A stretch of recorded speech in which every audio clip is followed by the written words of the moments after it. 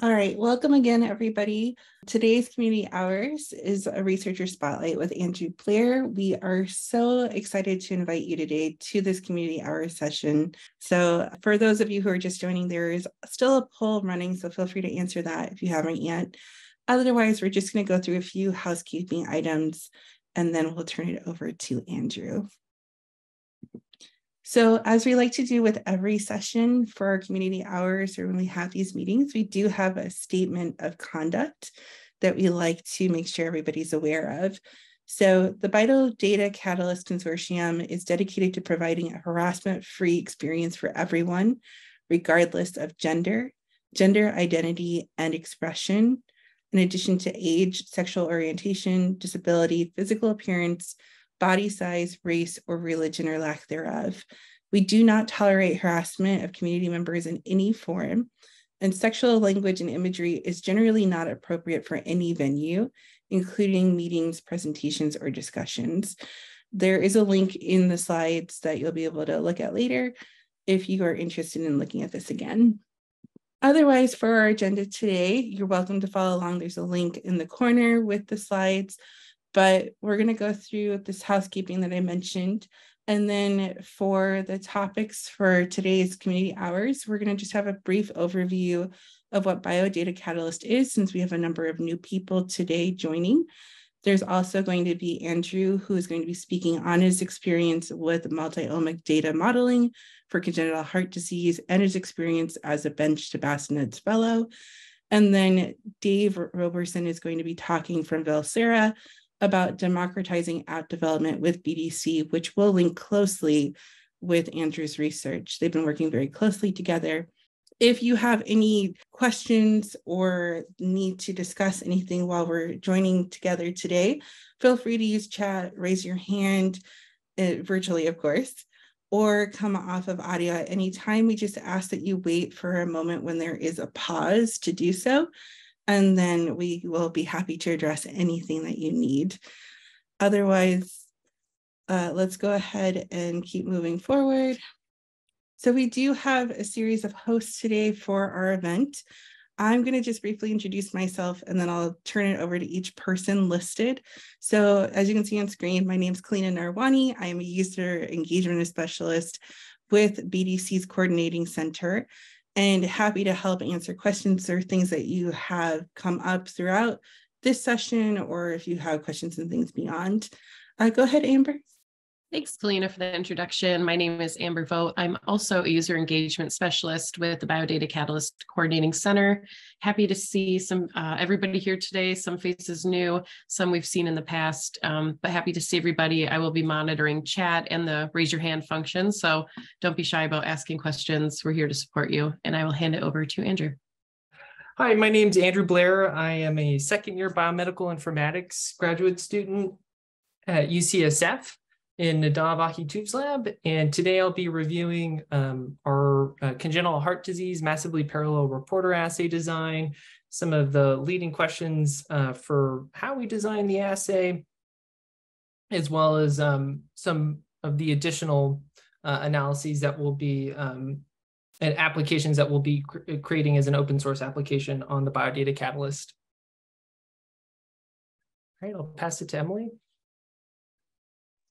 Thanks, Andrew. Hi, everyone. My name is Emily Hughes. um, I am a bioinformatics systems analyst at Harvard Medical School with Paul Aviak's lab. And so specifically, I work on the BDC powered by Picture platform. And this is a search and cohort building tool that you can use to um, filter on variables and export your data for, for analysis. So excited to be here and provide support or answer any questions. All right, David. Hi, everyone. My name is David Robertson. I'm a community engagement manager for Biodata Catalyst powered by Seven Bridges. And I'll be talking about uh, democratizing um, development of analysis workflows going after uh, Andrew. Happy to be here. Yes, thank you everybody for your introductions. And just to recap about our session materials today. So Amber was gracious enough to post the link to the slides in chat already for those that are able to view it. And then in addition to that, it will still remain available on the community forum, which is the link that Amber shared. We do encourage you to submit any unanswered questions, no matter how big or small, to our help desk as well. And then we also encourage you to join our ecosystem for Biodata Catalyst if you have not already done so. And again, the link for the slides will be shown periodically throughout too, just in case you miss it. Okay, can you, can everybody see my screen? Yes. Okay, great. So uh, again, just a quick uh, reminder, my name is Andrew Blair and I am a graduate student at UCSF. Um, I, uh, my family has a history of congenital heart disease. And so uh, there was an opportunity to uh, um, design a massively parallel reporter assay with a consortium called uh, the Impact of Genomic Variation on Function in the uh, AHI-TUV lab.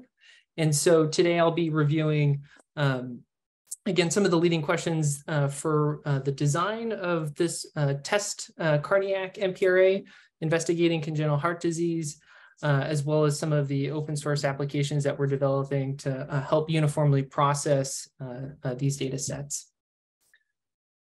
All right, so for a disease background, 60% of CHD cases have an unknown cause. nearly 90% of all phenotype associated single nucleotide polymorphism, polymorphisms identified by GWAS uh, lied within non-coding regions. And so uh, genome-wide association have implicated common non-coding variants in congenital heart uh, disease, for example, for atrial septal defects and left ventricular outflow tract obstructive lesions. And so um, to investigate um, these non-coding variants, the study data set generated by the Pediatric Cardiac Genomics Consortium, or PCGC for short, uh, identified patients or a trio proband uh, with patients with structural CHD um, and their parents. So there were 763 tri trios that were en enrolled in this um, uh, program. And the controls were comprised of um, a, a 16, about 1,600 um, autism unaffected sibling parent trios, and this is from an autism quartet study. And so uh, this analysis was, was one of the first um, uh, research articles that I reviewed in Benoit Bruneau's lab when I was a computational research associate. And it was just a really inspiring uh, research article in terms of all of the work that went into identifying de novo variants and then uh, uh, integrating in multiple you know, multi-omic assays like the H3K27 acetylation here for prioritizing enhancers, as well as uh, building these neural networks for uh, uh, annotating these regions, as well as measuring the effect of the variant on, on uh, transcription. So um, this was, again, kind of the, the, the, leading article that, that inspired me to come back and, and do my PhD and investigate congenital heart disease. Um, but there are some limitations to deciphering non-coding non-coding variant mechanisms in, in CHD. And one is just a lack of understanding the molecular consequences of non-coding variants. And uh, there's also limited annotation in the delineation of these regulatory elements. And then finally, uh, these non-coding variant effects might be cell type specific and or associated with distinct developmental time points or transient cell states. And so this you know, given these limitations, it, it, you know, it leads to this question, well, how do we measure the level of activity for non-coding regulatory sequences and variants that are associated with congenital heart disease, given that regulatory sequence sites are important for transcription and when we look at this, uh, this little cartoon diagram here, we can see that we have a promoter region interacting with an enhancer. We have this remodeling complex uh, guided by transcription factors that are helping facilitate the expression of this, uh, this gene here. And so um, when there are, are, SNPs or variants within these promoter and enhance, enhancer regions, uh, it, uh, we want to be able to evaluate how these variants impact the expression of these genes. And so uh, the goal for, for my research is to investigate if there is an enrichment in regulatory element categories among CHD de novo variants. And the functional assay that uh, we'll be uh, discussing today and, and, employing for, for investigating this question is a, called massively parallel reporter assay. And so what is a massively parallel reporter assay? Well, it's a, an assay that can functionally validate thousands of regulatory elements simultaneously using high throughput sequencing and barcode technology So uh, it starts uh, first by identifying uh, candidate regulatory sequences. And so these are traditionally identified using some chromatin state uh, model, like a hit Markov model, for instance, uh, or uh, guided by other omic modalities like ATAC-seq and ChIP-seq, and looking at different combinatorics of accessible chromatin and histone ChIP-seq marks. Um, and then also we have um, a minimal promoter that drives the expression of a reporter gene, so in this case, luciferase. Um, and then finally, we have um, uh, our candidate regulatory sequence that has a unique molecular identifier so that we can uh, identify the uh, transcription of these CR, CRSs and um, link them to, a, again, a barcode. Once uh, we design and select our candidate regulatory sequences, we need to have a delivery method. And so there are a couple different um, methods for that, there's uh, Lenti MPRA. This is a, a, a, experimental technique that Nadav's lab pioneers, and then there's also adenovirus. And within this, there are different uh, transfection modes of integration, so episomal versus chromosomal. And then once you can get those, uh, those experimental parameters defined, uh, you uh, do a RNA DNA extraction from the cell sequence, and then you quantify the activity score. So this is just a ratio of the RNA and DNA. And so um, the question that, that started when designing this first assay, and I'll open this question just kind of broadly to the, to the community right now is what, what functional genomic assays and methods slash models would you use to select candidate regulatory sequences that harbor CHD variants?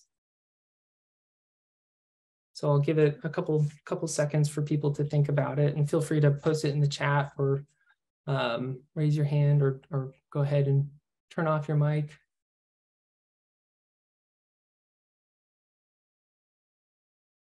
Okay, going once, going twice. Okay, let's keep going.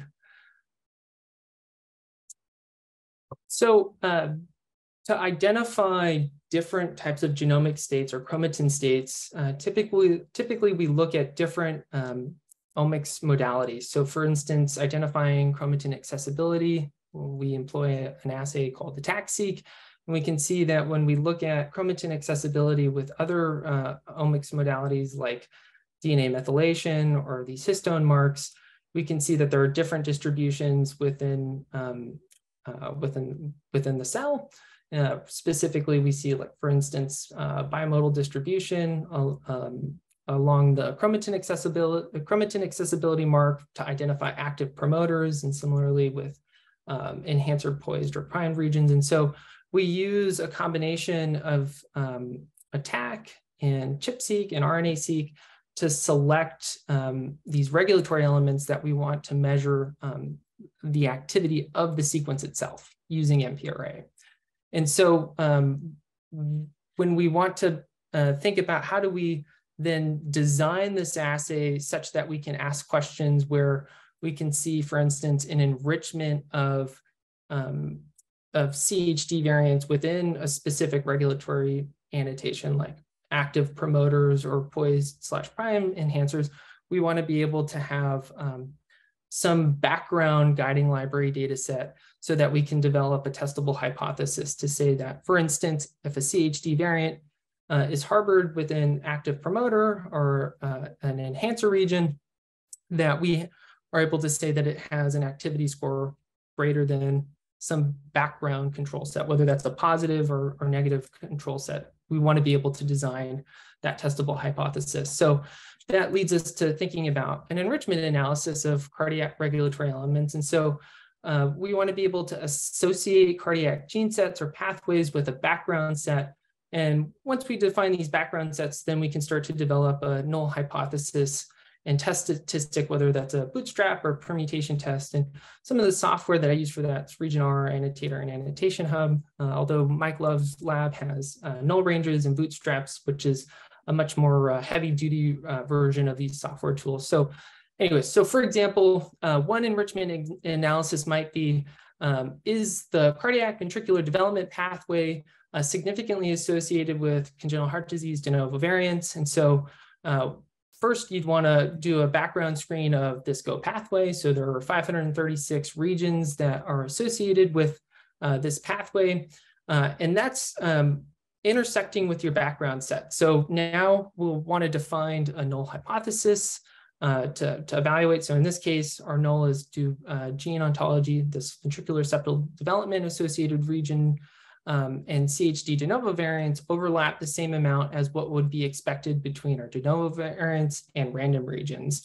And so we, you know, depending on your null hypothesis, you can develop a test statistic, in this case, a, a permutation test to evaluate uh, whether there is a significant association between this gene set pathway and your um, de novo variant gene list. But again, you still need to have some background data set to be able to select and identify where these regions are um, in your experimental model. And so uh, to define that background uh, data set, I use the Cardiovascular Development Consortium or the CVDC version one data for selecting candidate regulatory elements. And so uh, quick background on this data set, we had an experiment. So this is an experimental in vitro data set in H9 IP, iPSC cells.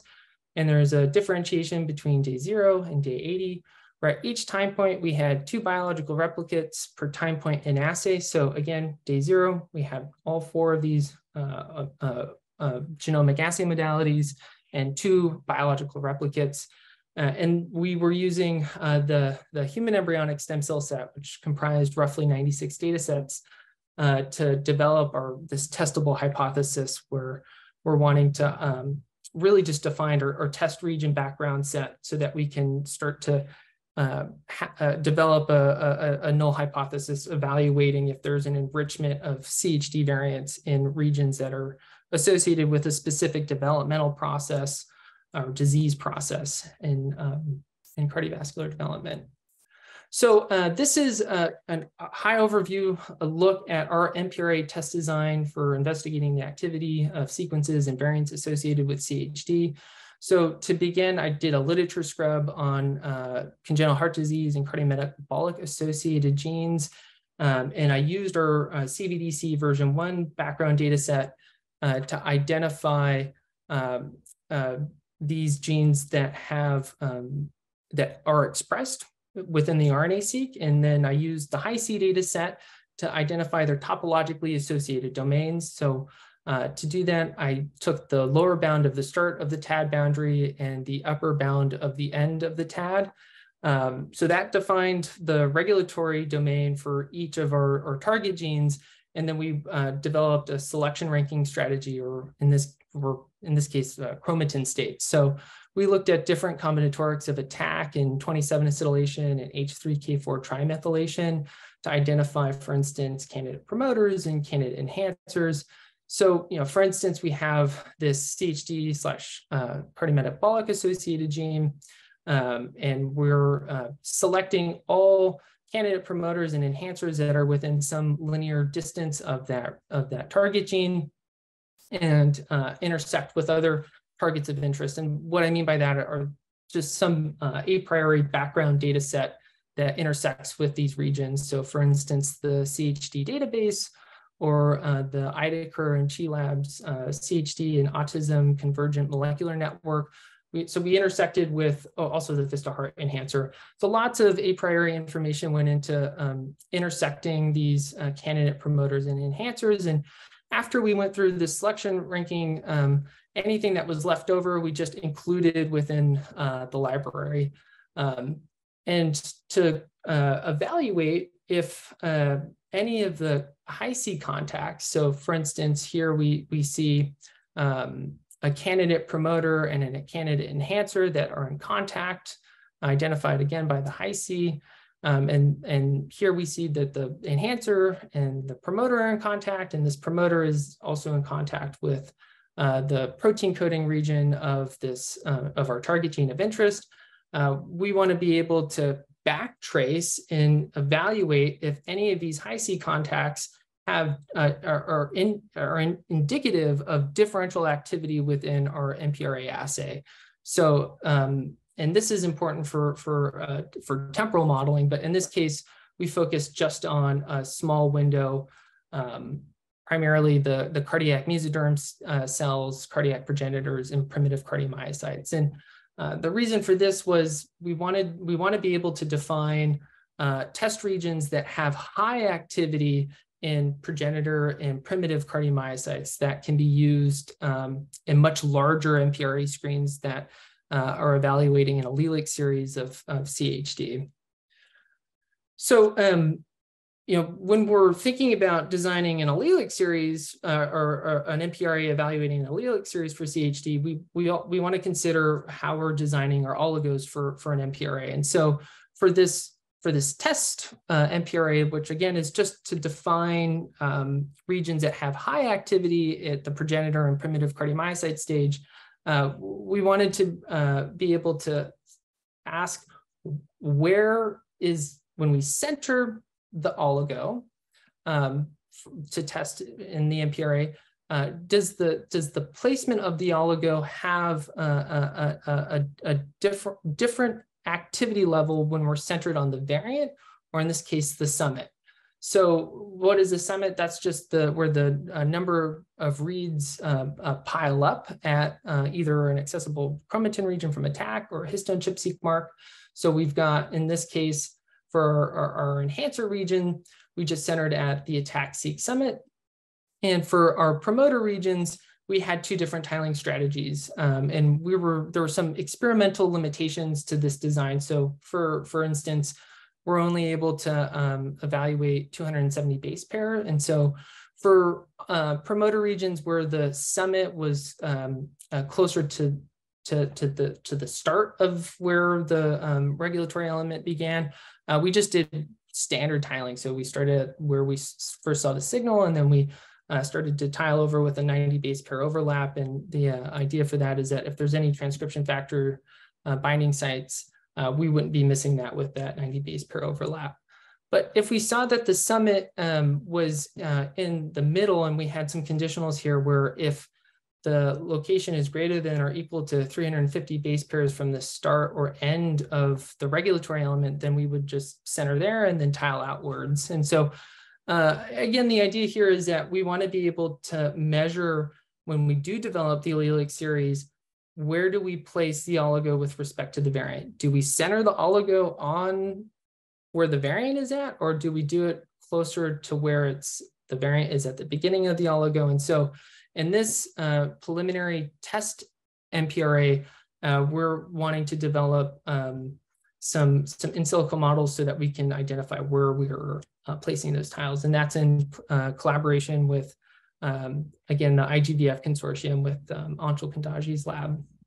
So, um, you know, I've talked a little bit about positive controls, but I didn't, I haven't mentioned negative controls yet. So um, when we are evaluating if there is a, a differential activity in, uh, in an allelic series, we want to be able to say that, um, for instance, the alternative uh, uh, sequence has lower or greater activity than um, the, the reference.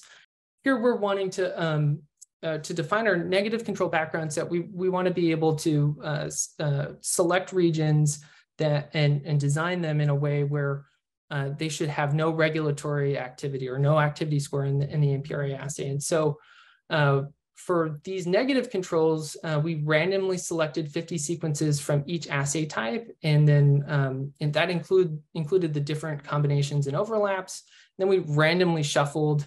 Um, uh, we did a dinucleotide shuffling on each of those random sequences that we pulled, and then uh, for the other uh, negative control set, I'm calling this the candidate negative control set. These were regions that were randomly selected from the tag boundaries. Um, and when we uh, looked at this within the UCSC genome browser, we saw that there was like no signal uh, also within our guiding library data set. And so uh, here we're also evaluating if any of the Hi-C inference models that define the boundaries and the contact regions have um, or, or, or, or um, what we're expecting experimentally. So, uh, and again, in summary with that, we want to be able to evaluate if the Hi-C inference models indicate um, a, a, differential activity based on the contact scores between promoter and enhancer regions in the target gene.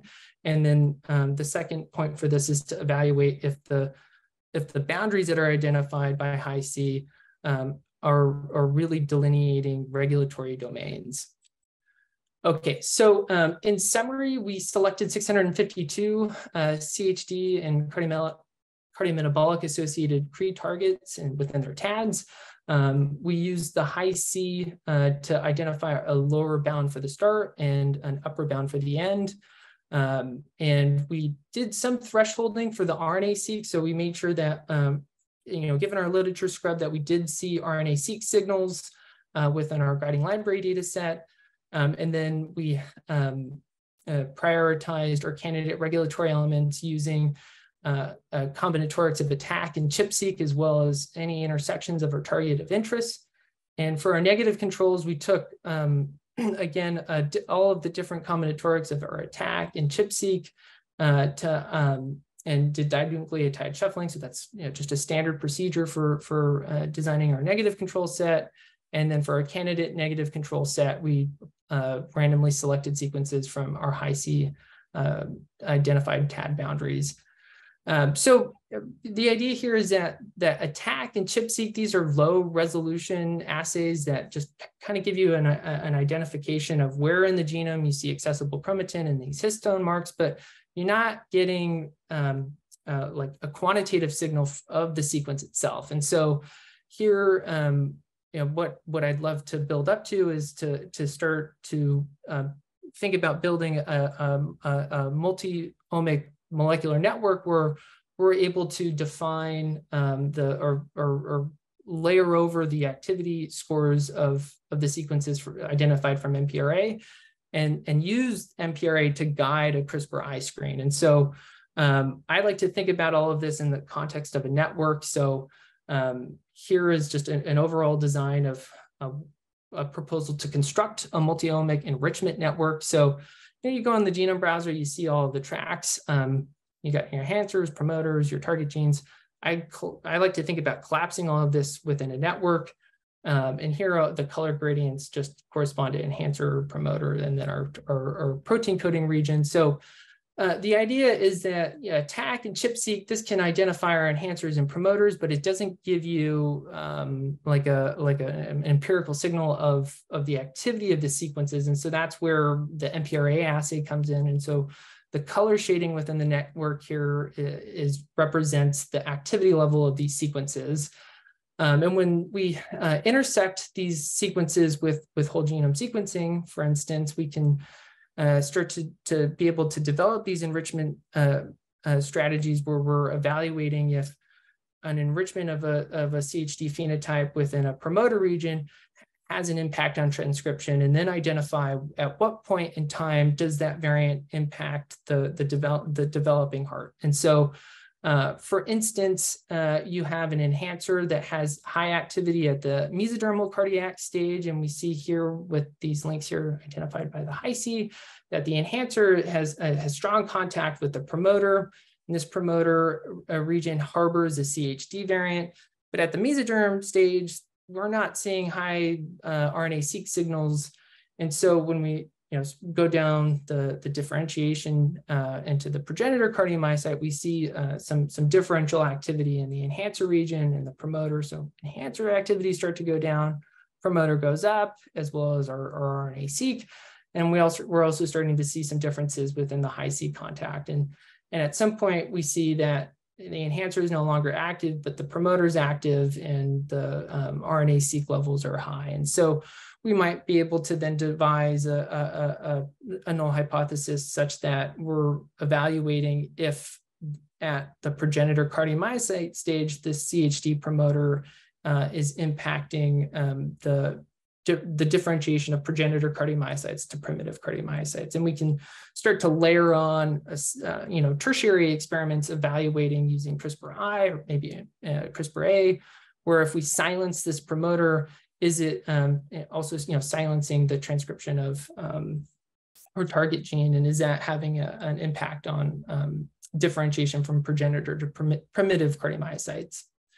So um, you know, given you know the lead up to this this this multi-omic enrichment network, um, we, we also want to have some uniform processing of, of our MPRA data. So the biodata catalyst has um, already has all of the ENCODE ATAC and ChIP-seq and whole genome sequencing workflows as well as RNA-seq.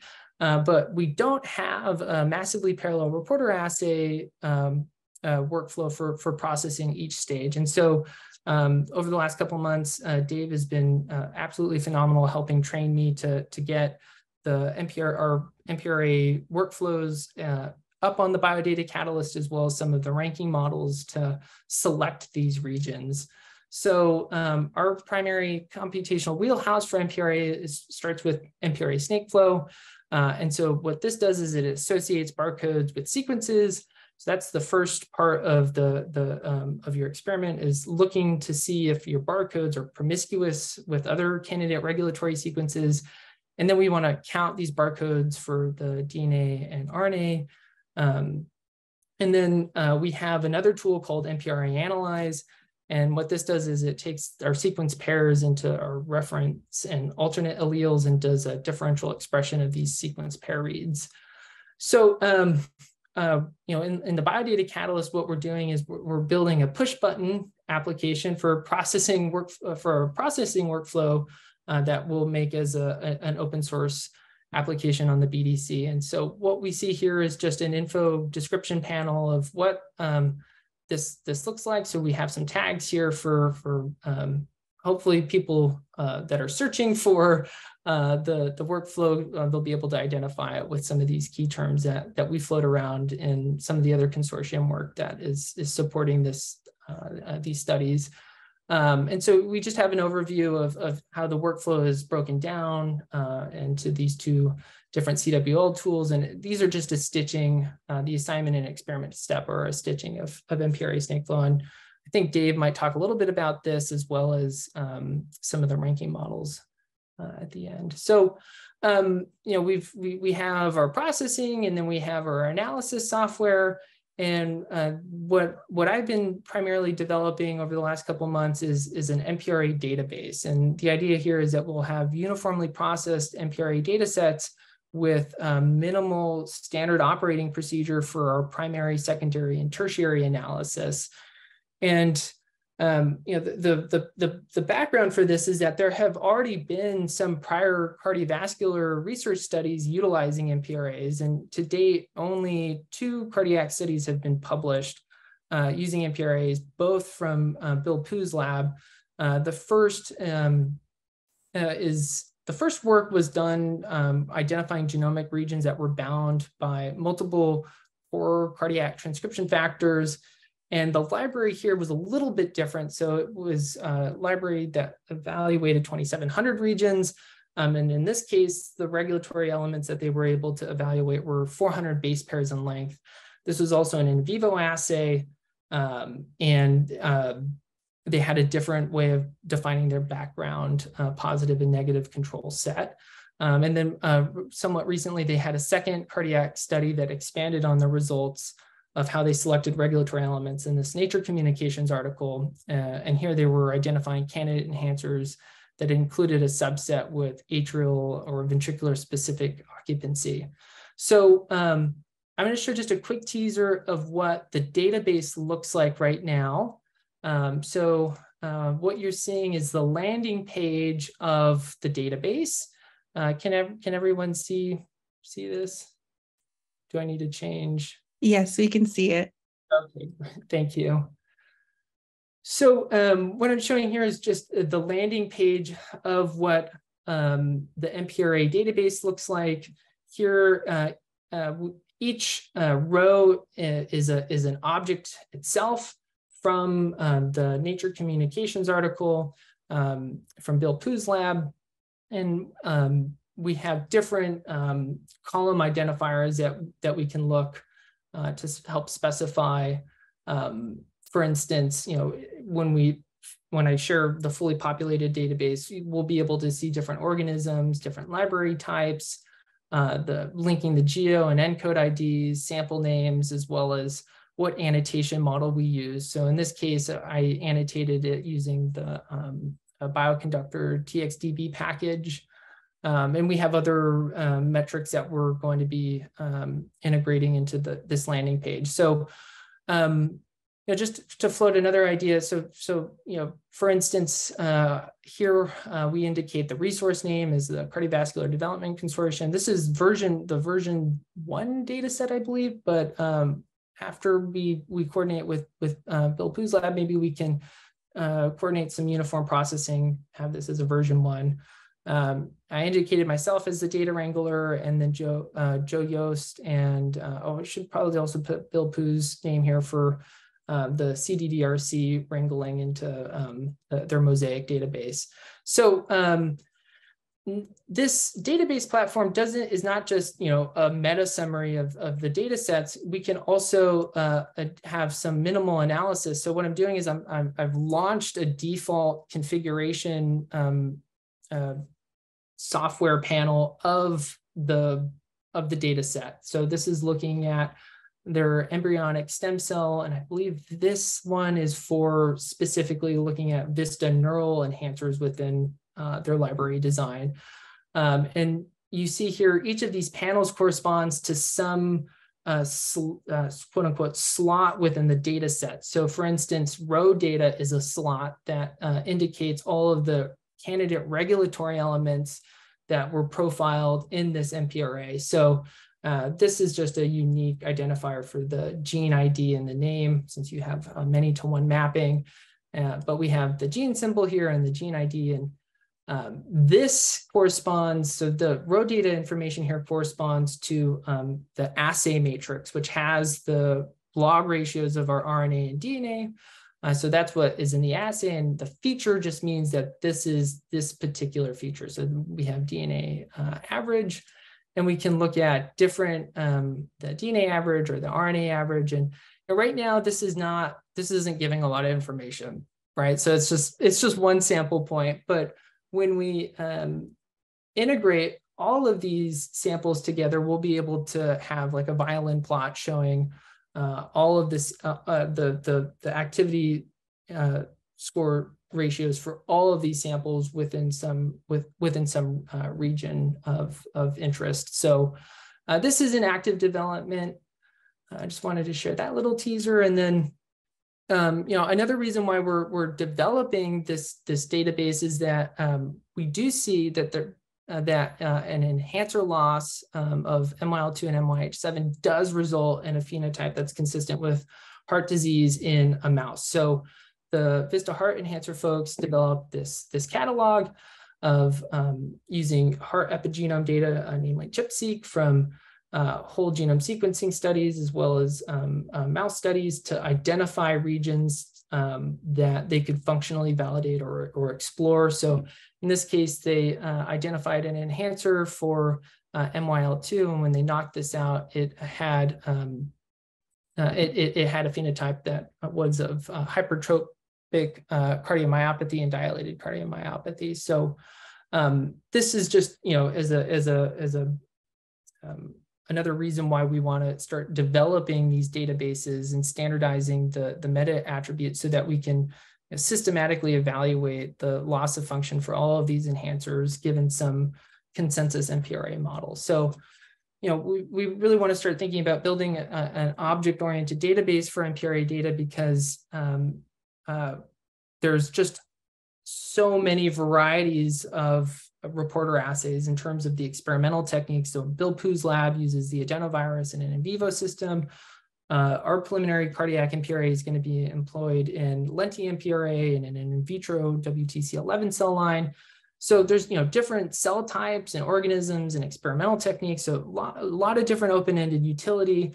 Um, and the domain biology uh, varies from congenital heart disease to cardiometabolic. And, um, and in, in, terms of the choices in technology, there's different modes of integration, chromosomal, episomal. And so uh, this database is, is really catered towards uh, creating a central reporting and version control platform for sharing MPRA data and analysis. And so uh, here we're just building on established um, uh, uh, ob, object designs, uh, namely a, a, summarized experiment object to support uh, this uh, systematic and integration of, of MPRA uh, data sets. And yeah, so again, this is just what the iSEE MPRA base looks like. So iSEE stands for Interactive Summarized Experiment Explorer. Um, and this is uh, for sharing both the data and the code too. So for instance, uh, what, what, we're looking to do is create an open source GitHub community that uh, people can help uh, share, uh, and uh, whether as a data wrangler or as um, somebody that's interested as an analyst for you know a secondary or tertiary analysis evaluating transcription factor binding mo motif. So lots of different um, open-ended utility just for the database and, and the reporting that, that we have ideas for. And so this is all leading up to um, a push button solution for MPRA analysis. So we have an open source organization called MPRA Hub for, for our analysis and sharing in different genomics cloud computing infrastructures. The Biodata Catalyst is really what's driving a lot of this. So um, in the IGVF consortium, what we've proposed is to have a configuration file where users defined a list of NGS identifiers to launch the MPRA uh, processing workflow. And so the idea here is that you're just going to drag and drop your files, press execute. And what this will do for, for the analyst is it'll pull from one of our repositories in our open source MPRA hub uh, and, uh, and take that, that pull request and auto generate a quality control notebook that the analyst will review before um, submitting their object to our, our database, which is hosted on Synapse. And so um, they'll also be able to contribute to the iSEE MPRA base analysis platform, either uh, their data set or their analysis.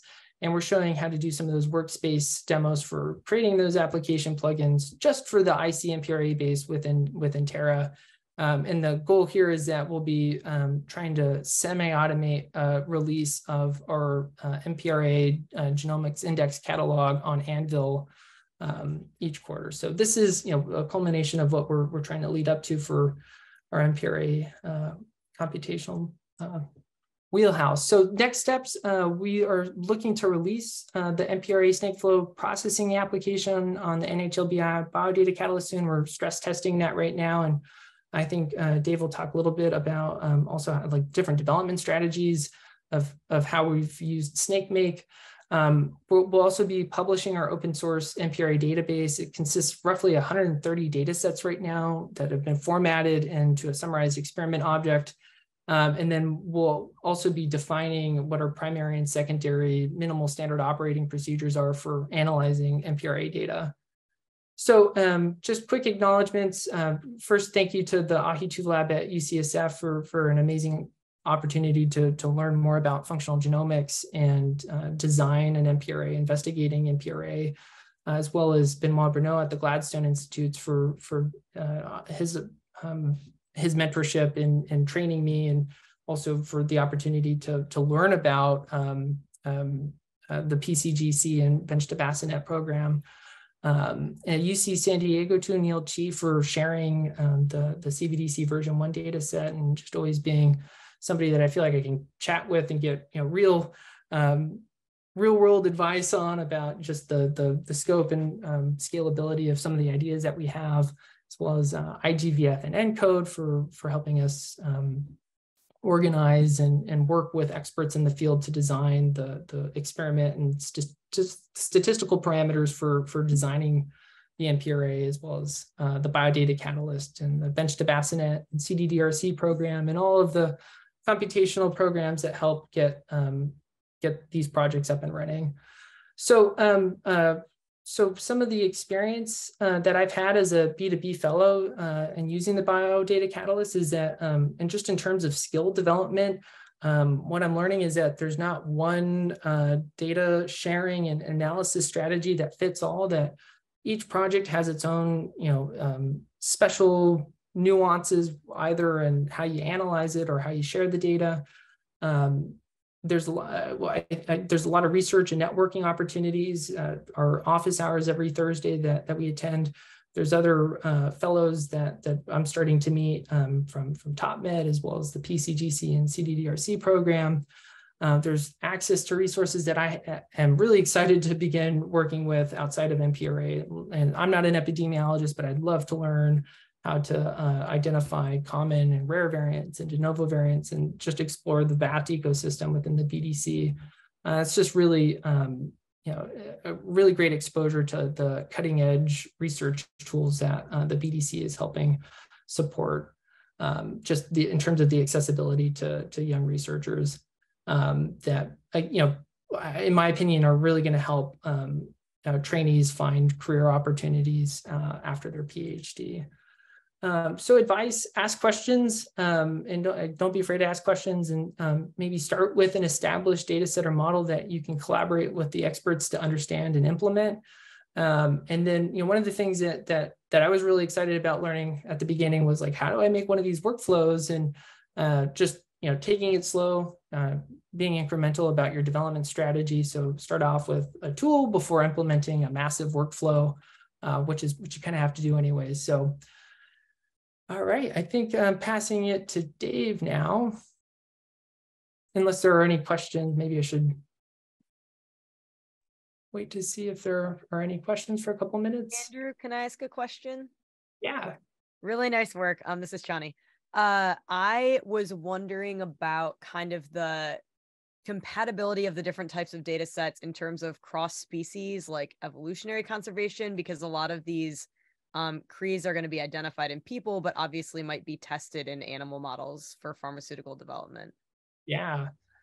Yeah, I, I have not. So I haven't done like a phastCons analysis between the IP, like the in vitro human embryonic stem cells with the with the mouse in vivo and in vitro. That's a great question. That's something that definitely should should get done and, and reviewed before uh, you know building on the in vitro assay for in for an in vivo application. Though what what we did do for for the first MPRA is we did we did intersect with we did do intersections with in vivo human and mouse from the Vista Heart Enhancer in the Cotney lab. Uh, but in terms of you know, the evolutionary conservation and the activity of those sequences, I, I'm, not, I'm not sure what um, I, I, we would have to have that as a retrospective analysis um, since For the sure. data has already been, um, we're already starting to generate the data. But that's it. Yeah, it's a good question.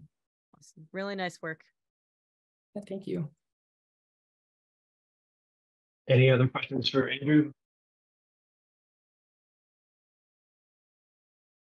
Thank you so much, Andrew. That was a really great presentation and super exciting to, to, to the fact that you're bringing this sort of multi-omics type analysis to um, to the BDC community. So I just want to quickly, in the remaining time, by the way, we might go just one or two minutes over, um, drop off if you have to. Um, I want to talk about how we approach democratizing app development on Biodata Catalyst. My name is Dave Robertson. I'm the community engagement manager for Biodata Catalyst powered by Seven Bridges. And I'm really happy that I get to work with um, scientists like Andrew and other fellows. Uh, so um, I'll go really quickly, but what I want to focus on is the features that help um, researchers develop and test apps on the BDC ecosystem and with a focus on the Seven Bridges platform. Um, and so some of the use cases that we've uh, recently been working on, MPRA Snakeflow um, that Andrew went through, activity by contact model, which is another um, uh, uh, workflow that uh, Andrew's been working on, and um, a universal R script runner, which I think a lot of people will be pleased to hear about. Um, but all this sort of uh, depends on the community aspect. So I just want to reiterate that we do have office hours.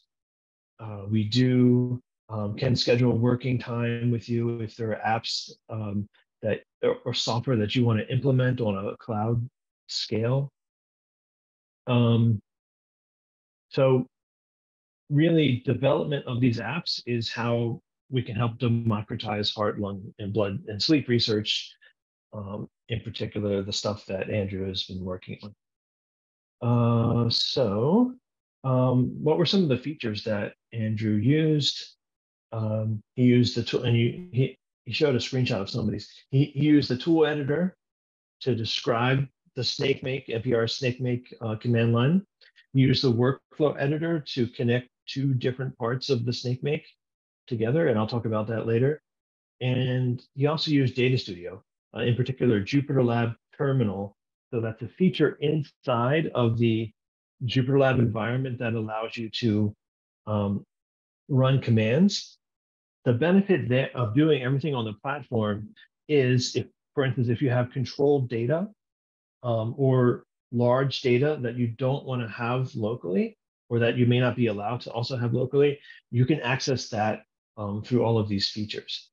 Now, some of the software that we use, uh, SnakeMake, we use Conda, we used uh, CWL tool, which is a, um, an open source executor for uh, CWL um, workflows. And we used a, um, a piece of software called UDocker. So these are kind of new, new things that we're experimenting with. And what they allow us to do is take um, the GitHub project, for example, um, in this case, MPRA Snakeflow, and make it runnable in a graphical interface. Um, this might be kind of small for you to see, but we have um, all the inputs, and there's a, you know, it's pretty complex stuff, but you can sort of break it down and to what, what are the inputs, uh, what are some of the app settings, and then what are the outputs. And um, running things on Biodata Catalyst powered by Seven Bridges will give you all this great sort of uh, extra information about the time that it took to run. You can click on view stats and logs and you know drill down into some some more details. Um, so for MPRA Snakeflow in particular, we use the tool editor. Uh, we use the workflow editor to stitch together two different parts. And why do we do that? So that's kind of represented, and um, Andrew's co- colleague uh, Jing Jing um, sort of um, had this idea that you have um, one part of the pipeline, the assignment step, uh, which you may want to may want to run, but then you may need to repeat the counting or the experiment step several times, and that's shown here on this timeline. And you can easily see that the assignment step only took 20 minutes or so, but we're get, definitely getting um, uh, we have some opportunity potentially to increase the uh, compute to make the MPRA experiment um, complete faster. This also helps for separation of concerns and maybe uh, troubleshooting that um, may need may need to be um, done. And some unique design choices that Andrew and I worked on is not rewriting the software or not rewriting the workflow in common workflow language. It does have sort of like an outer shell, but the main um, engine is SnakeMake, exactly how it was um, in the GitHub repository. And um, so we had some challenges that we're still working through, um, but we'll try to keep the community updated. Something else we did was uh, activity by contact model, which is software that's um, developed by the Broad. We made that a workflow and something I'm working on with uh, Matthew Goodman, who's a TopMed fellow. Um, and I think this is going to be really interesting to a lot of people on the call. If if you're an R user and you want to just sort of submit the script as a job to Biodata Catalyst, um, you might just say, "Here's my script, and here's the files that I want to run the script on." Uh, we we're coming up with this idea that you could actually um, add almost any R script if it's configured a certain way. Um, and uh, it'll run performantly because it's going to use the split apply combined data processing method, which we also call scatter gather. So um, I just want to conclude with, if you have any development ideas, um, please stop by either uh, BDC Seven Bridges office hours, which we host Tuesdays at 10 a.m. You can also talk to Andrew because he comes to, at least comes to the Thursdays a lot. Um, uh, so it's 10 a.m. on uh, Tuesdays, 2 p.m. Uh, Eastern time on Thursdays. So this link will be in the slides on the forum. Uh, you can send me an email directly, or you can post on the BDC forum. So we're really trying to encourage the community to post more in the forum about any questions they may have about how to do a specific analysis or any ideas for new apps they might want to run. Um, uh, or get sort of set up to run, and we can help you with that. Um, and I think that's about it. Uh, I'll send it back to Kalina. Yeah, thank you, Dave and Andrew, for both presenting so well. We really appreciate it. Just a couple quick cleanup things. When there's a poll running, if you're interested in being contacted or have additional questions, otherwise, there is the help desk. which we'll go ahead and post in chat really quick. And then in addition to that, go ahead, Dave, and move forward. You can join the ecosystem that we mentioned at the beginning. The link is here. It'll also be in the slides that you'll get in a follow-up email from this with the materials today. And then lastly, let's go ahead and go to the last one. We want to thank you for joining again today. And you can go ahead and register if you haven't already for the July community hours, which will be about linking phenotypic uh, data to genomic data files. And that'll be on July 19th at 1 p.m. Eastern time. So thank you again, everybody. Uh, we'll hang around a little bit, I think, in case there's any last minute questions. Otherwise, you're free to go.